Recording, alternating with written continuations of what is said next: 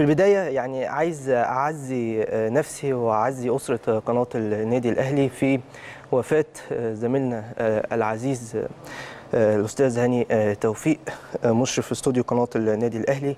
ربنا رب يرحمه ويغفر له ويسكنه في سيح جناته الراجل يوم الأربع عمل حادثة كده حادثة سير. وإحنا في الحقيقة كنا كلنا هنا كأسرة قناة الأهلي كنا موجودين في القناة من الصبح جدا. كان عندنا بعض الاجتماعات والراجل كان معانا بصراحة على مدار يعني من الساعة 9 الصبح لغاية الساعة 2 الظهر كده كان معانا. خرج من القناة بيعمل مشوار.